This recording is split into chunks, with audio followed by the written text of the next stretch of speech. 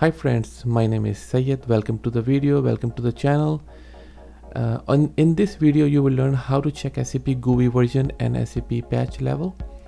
So SAP GUI is an application which is used on your laptop, uh, which is used on your desktop, and where you log on to your SAP application.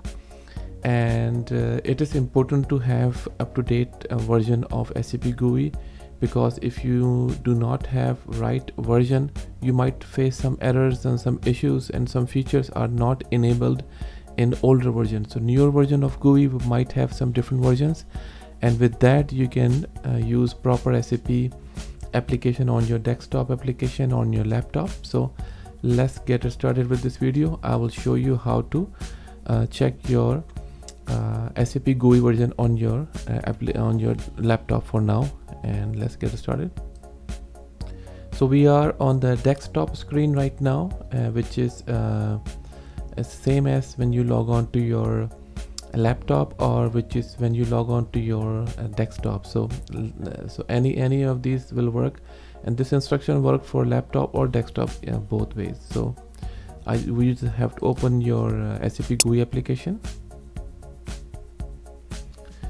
and once you open your SAP GUI application you can see there is a button up here which is a small um, uh, on the left hand side on the top where you see my mouse. I click up here and I can see about SAP logon. So that is the uh, uh, button you want to select and click.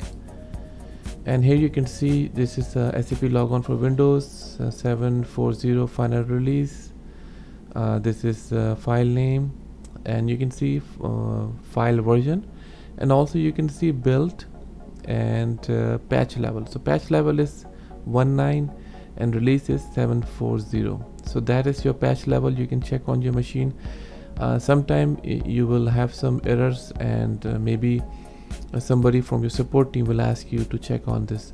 And you want to make sure that make sure that you have uh, latest and up to date patch level that way you could would not have any more errors and issues. So that's it for this video. Thank you very much for watching. Uh, please like subscribe and leave a comment. Thank you very much